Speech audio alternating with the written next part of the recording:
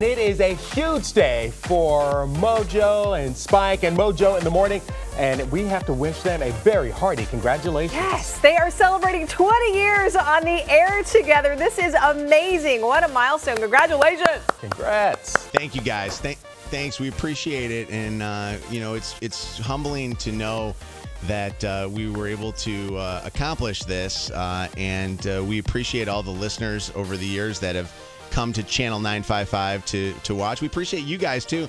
I mean, honestly, without all the stories that you guys covered of the goofy contests that we've done, or some of the crazy callers that we ended up having calling in, I don't know if we would able be able to survive because of uh, that brings listeners to the show. And in the media world, you guys know this firsthand, but 20 years is about 100 years. So we really appreciate every listener that's been a part of the show. And, and of course, all of our staff and all of our cast members over the years who have really uh, all contributed to make Yeah. it what it was. We've already been hearing from people this morning, Alicia, who were listening on their very first day 20 years ago. They still remember it. And we have so much stuff planned for this morning's show. So make sure you're listening because the surprises are going to be good. My lips are zipped. It'll be a lot of fun. So hopefully, when you get in your cars, you, you can turn on Channel 955 and check us out, guys. I, I, I will tell you this: that I've been watching Seven. Uh, more than 20 years, obviously.